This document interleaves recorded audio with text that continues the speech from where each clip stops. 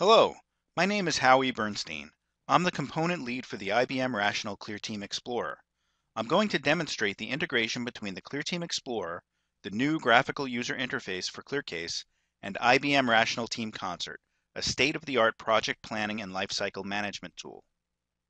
The substance of the integration between the ClearTeam Explorer and Team Concert are the relationships and traceability established between a Team Concert work item and ClearCase UCM activities or base ClearCase versions.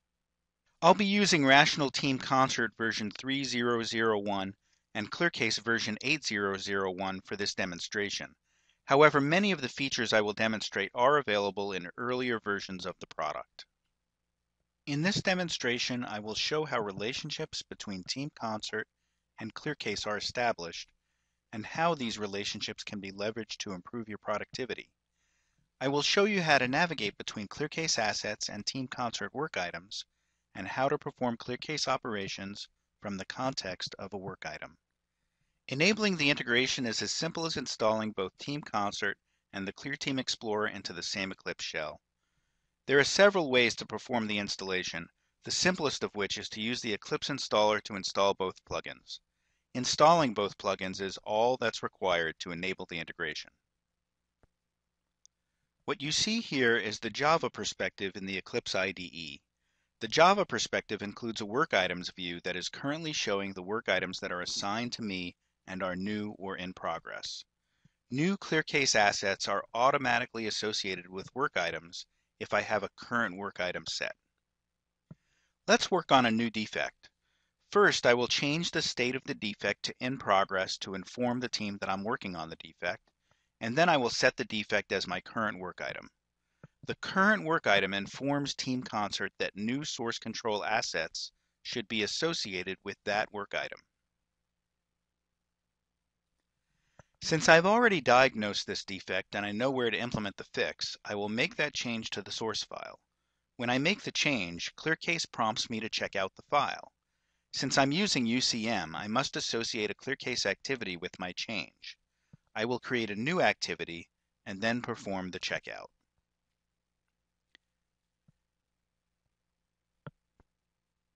Now, if I take a look at the work item, I see that the ClearCase activity has been linked. Let's go back and check in that change. Once I've made the change and tested it, there are several ways to go about getting a code review. I can create an approval on the work item, or I can simply email the URL for the work item to the code reviewer. The code reviewer would open up the work item just as I've done here and show the ClearCase activity associated with the work item by double-clicking on the link. Once I have the activity, I can see each new version created in the context of that activity and then do a comparison with the change set predecessor to perform the code review. I've just demonstrated the traceability between work items and UCM activities. It's easy to create associations and navigate from the work item to the activity to perform code reviews or perform other ClearCase operations on versions in the change set. Now I'm going to demonstrate the integration with base ClearCase. Let's start work on another work item and set that work item to be the current work item. We'll go and make a code change for that work item. Since this is base ClearCase, I don't need to create an activity to make this change, and the file is checked out automatically as soon as I start to change it. I'll just make a change to the comment.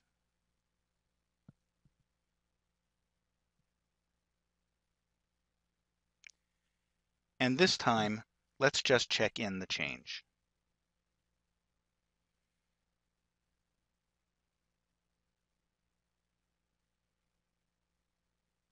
Let's take a look at the work item now, and we see that instead of a link to an activity, the work item contains a link directly to the new versions created in the context of this current work item.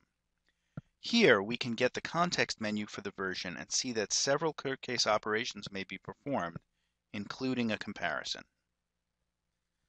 Earlier, I discussed and demonstrated how setting the current work item allows associations to be created automatically. If you've forgotten to set the current work item, or if you need to change associations, you can do that very easily. Let's take a look at My Activities in the ClearCase perspective. Here, I can choose an activity and take a look at the existing associations with work items. I can also remove existing associations and establish new associations. Let's say I had the wrong work item set when creating this association. I'll first remove the association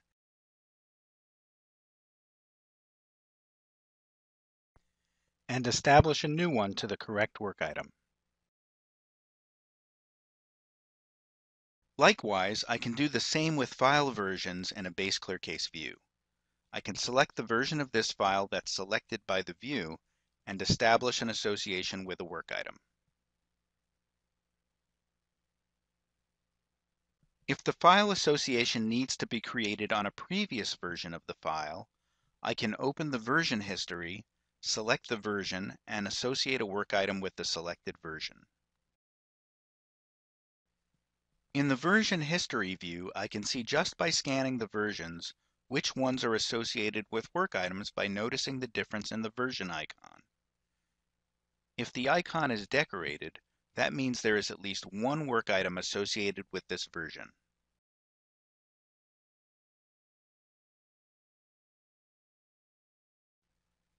I've just demonstrated how you can create and manipulate associations between ClearCase artifacts and Team Concert work items.